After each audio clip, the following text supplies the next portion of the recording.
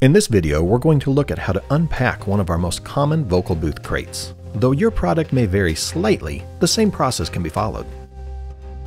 After removing the strapping, locate the sides labeled Open 1 and Open 2.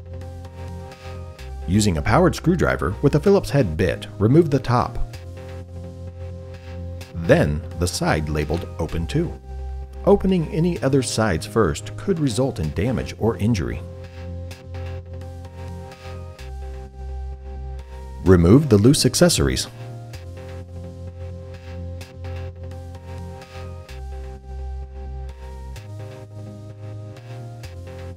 Panels are strapped together. Remove one screw and one panel at a time.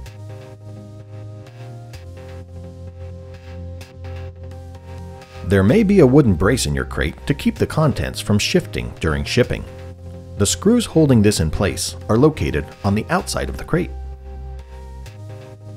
The door is the heaviest panel and should be handled by at least two people. Take care not to damage any corners.